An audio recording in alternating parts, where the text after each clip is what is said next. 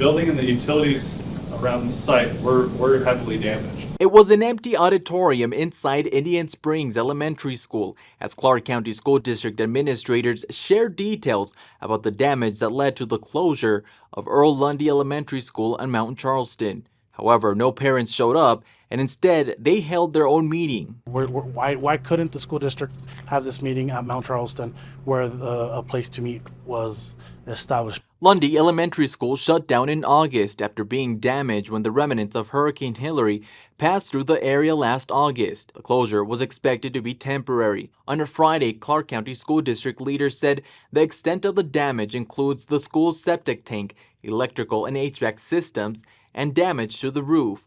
The district estimates the total cost of the damage to be roughly $6 million and says insurance will cover only about 1.5 million. A number of unforeseen, unknown costs, and we wouldn't know those until we got into the building and started, uh, you know, um, that process. Abraham Camejo, who was at the meeting and is a part of a committee that oversees future construction in the district, questions the evaluation of storm damage and repairs needed. So I, I question the real damages. Now, could things shift because of regular construction and making these cracks, uh, which they presented in these pictures? That could be just the basic facilities of the age of the building, but not, not necessarily related to the cause of from this flood.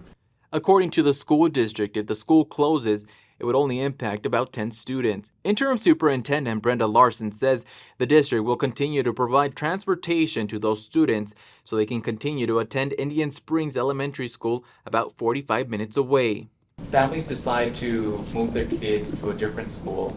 Um, will they also be offered transportation or do the parents have to be driving their kids to and from school? With the change of school assignment, transportation is not available.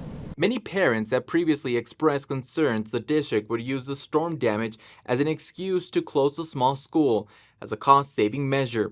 I brought up those concerns to the superintendent. When you look at the um, student enrollment at Lundy, it is low. Um, but the, the storm Hilary was, was a catalyst for us looking at a recommendation for closure.